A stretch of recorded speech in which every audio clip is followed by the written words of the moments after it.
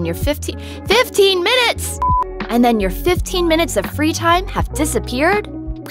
Gone in an instant. What were you doing? You were on your phone. to get rid of the barriers that keep you from writing, create a prompt list that makes getting started effortless.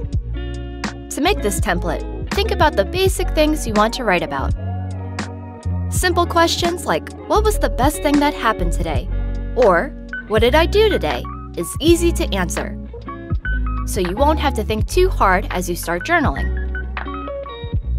Write it down on a separate piece of paper, like a Kokuyo information card, and keep it with your notebook.